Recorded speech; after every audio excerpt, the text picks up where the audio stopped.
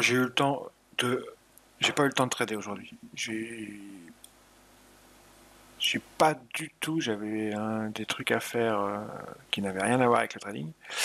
Donc je vais, euh, je vais essayer de faire un scalp ou deux là. C'est euh, mon heure. Je, vais regarder là pendant 10 minutes, un d'heure s'il y a un truc à faire. S'il n'y a rien à faire, je, reviendrai un peu plus tard. J'ai un, un, autre créneau que j'aime bien, c'est 21h30, 22h. Donc là, pour l'instant, on va regarder ce qui se passe. Là, il y a, un petit truc qui me, plaît bien.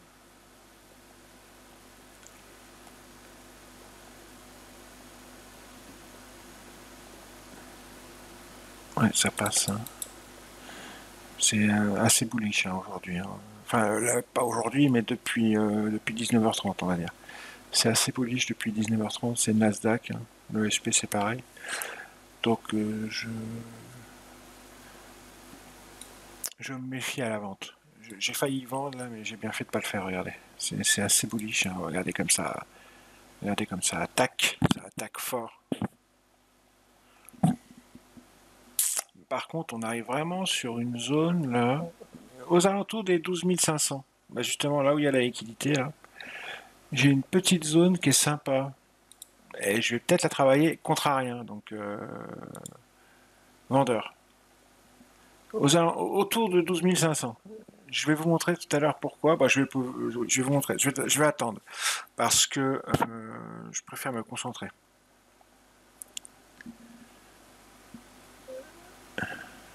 Headsmaster says inflation risks are skewed to the upside and an argument for doing more upfront Hermester says after half point increases in June and July, the Fed will have to see what more is needed based on the data in the meantime.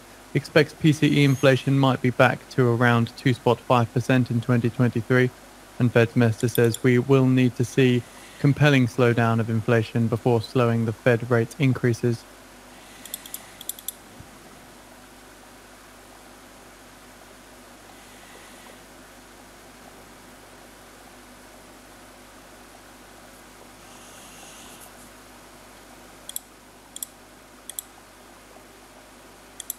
Ils ont décidé de bien retracer.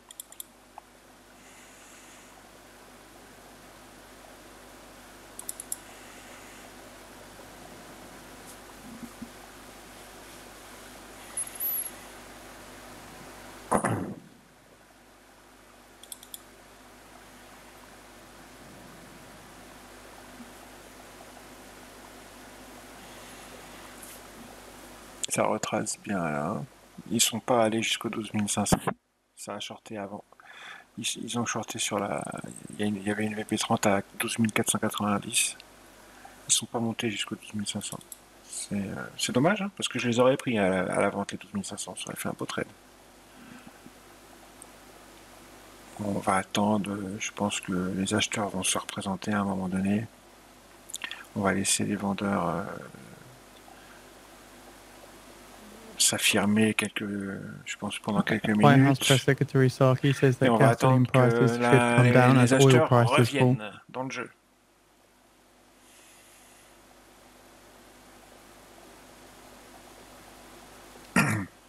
Donc, ouais, les vendeurs sont toujours là pour l'instant. Vous voyez, il faut, faut être patient.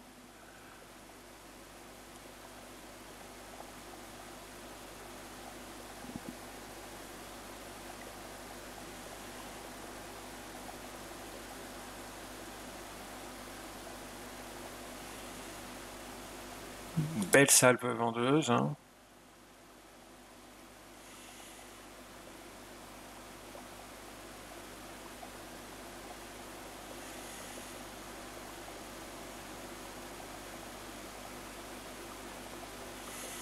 Et là, on commence à arriver sur, euh, sur des zones qui sont intéressantes à travailler à l'achat si je vois que les acheteurs reviennent.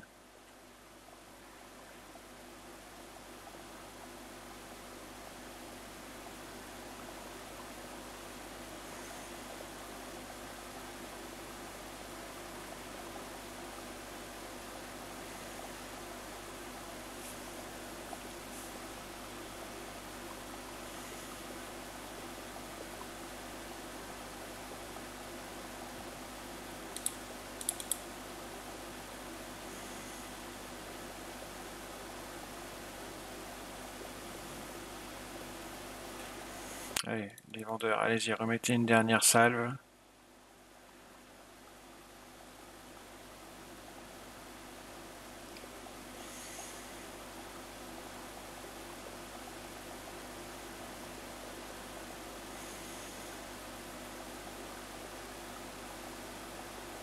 Ça y est, les acheteurs reviennent. Allez.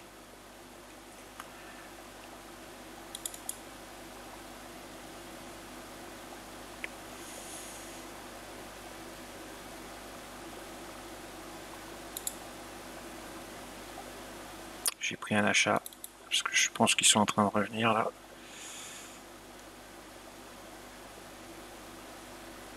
Voilà, oui.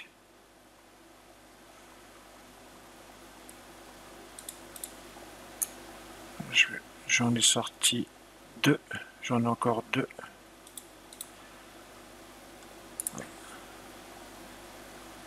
Allez, il me reste plus qu'un. Je vais essayer de le tenir. Si, si ça reprend, hein, parce que si ça reprend pas, je vais le sortir. Non, ça reprend pas. Allez, on va le sortir. Allez, remonte.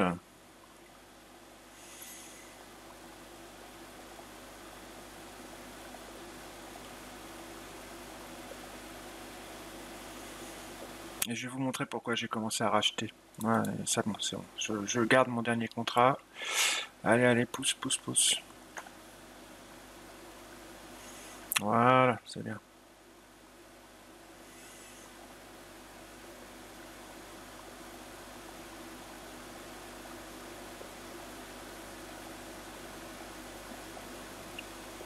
Voilà, superbe. Bon, bah voilà, 1000 dollars, je vais sortir. Tac, sorti. 1000 dollars en, quoi 5 minutes, hein, les gars. Alors pourquoi je suis, euh, je suis rentré? Euh, Allez, je vous montre, c'est dans, Sierra. On est, on est venu euh, se poser ici. Regardez cette, cette belle zone. C'est vraiment tout simple. Hein. Je l'attendais. Keep in mind in 10 minutes time at 3 p.m. Eastern Time, FedSmith is due to speak on a panel discussing monetary policy and financial stability challenges during the balance sheet normalization at the Atlanta Fed's annual Financial Markets Conference uh, on Amelia Island in Florida. So text and Q&A is expected here with an audience. Uh, however, we have seen a text release from Fed un coup en haut, un coup en bas, un coup en haut, un coup en bas. Donc je me suis dit, là, je vais, euh, puisqu'on a, on était en haut et qu'on est en train de descendre en bas, je vais attendre qu'on aille en bas. Et quand on sera en bas, je commencerai à me positionner à l'achat. Donc là, moi, ce qui me plaisait bien, euh, bah, euh, c'est cet endroit-là. Je vais, je vais vous montrer. là, regardez, je vais, je vais prendre toute la zone là. Je te reprends de la main, je suis rentré à l'achat. Voyez, regardez. Regardez ce pic de volume qu'on a ici. Vous voyez, c'est ça qui m'intéresse.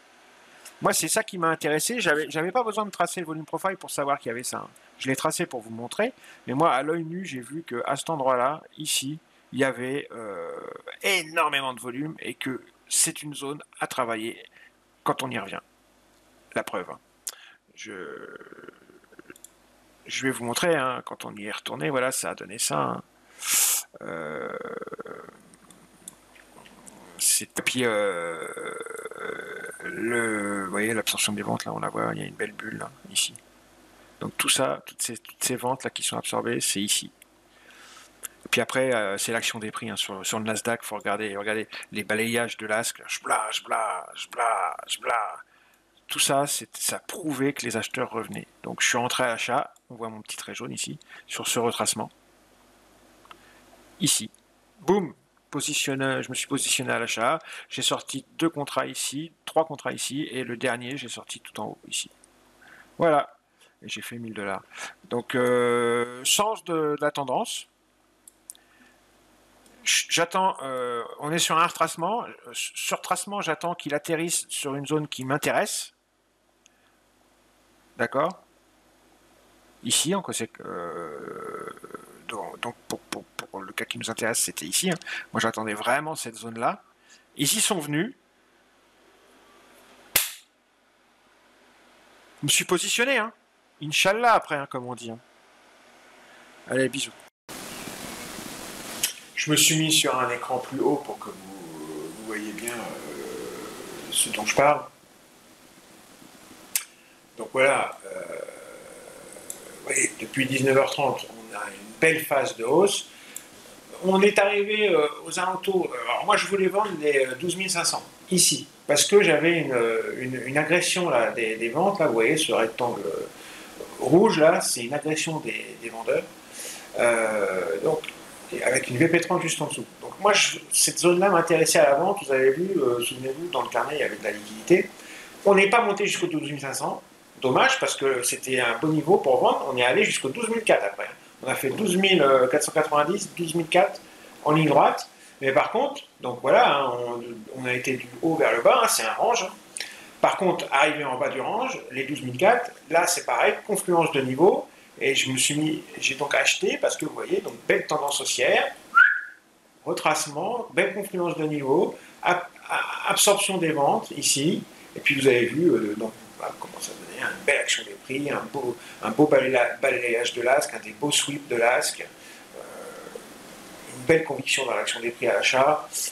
Euh, on a bien vu le changement de paradigme, c'est ça qu'il faut repérer, c'est l'action des prix. On a bien vu cette vente, ce, haut du range vers le bas du range, c'est vendeur qui avait la main. Et ce changement de paradigme, à partir du moment où on a touché le bas du range et que les, acheteurs sont revenus et les acheteurs ont repris la main sur les vendeurs, ça, dans l'action des prix, on le voit très bien euh, dans la vidéo. C'est pour ça que moi, je, me positionne à l'achat, confluence de niveau, euh, bas d'orange, euh, action des prix qui montre de la conviction, qui montre que, que la main change, la main revient aux acheteurs, volume, Hein, les ventes qui sont absorbées, on y va. Voilà, c'est un tout, hein. c'est la lecture du carnet d'ordre. Avec les niveaux market profile, volume profile. C'est une tuerie. Il n'y a pas à chier, cette méthode est une tuerie. Voilà. Cette fois, c'est bisous les amis.